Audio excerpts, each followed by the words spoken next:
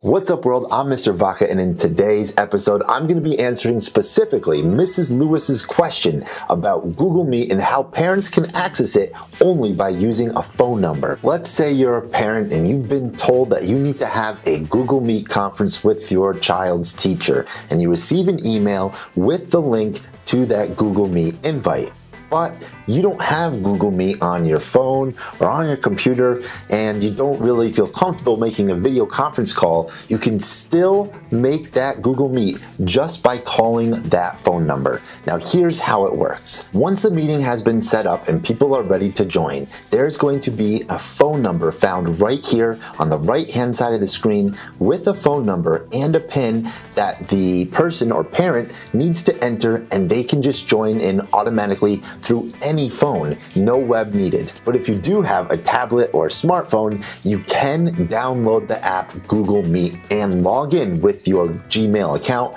or your child's school address, and then you can join that Meet session that the teacher sent you through an email directly through your phone. There's many different ways. If you have any other questions, please let me know at wvacca at mohonasen.org. Thanks again for watching. Don't forget to work hard, play hard, and I'll catch you next time.